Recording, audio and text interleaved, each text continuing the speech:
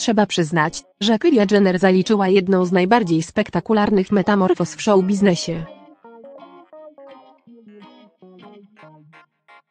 Najmłodsza z Kardashianek przez całe lata uchodziła za brzydkie kaczątko, mocno odbiegając wyglądem od stuningowanych sióstr.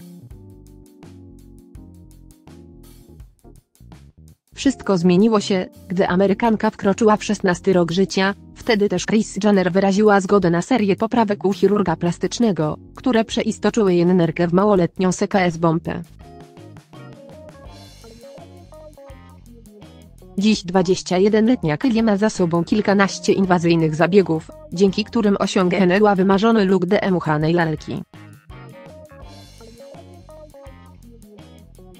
Założycielka wartego miliard dolarów brandu Kylie Cosmetics nieraz już udowodniła, że nie boi się eksperymentować ze swoim wyglądem. W poniedziałek celebrytka została przyłapana w West Hollywood przez paparazzi, gdy zmierzała na imprezę sylwestrową u boku ukochanego, Tracisa Scotta.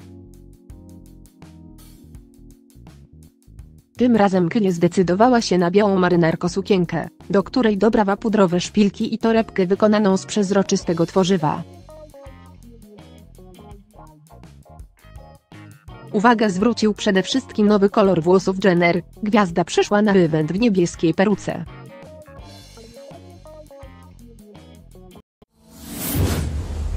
Proszę zasubskrybuj kanał, dziękuję za likę.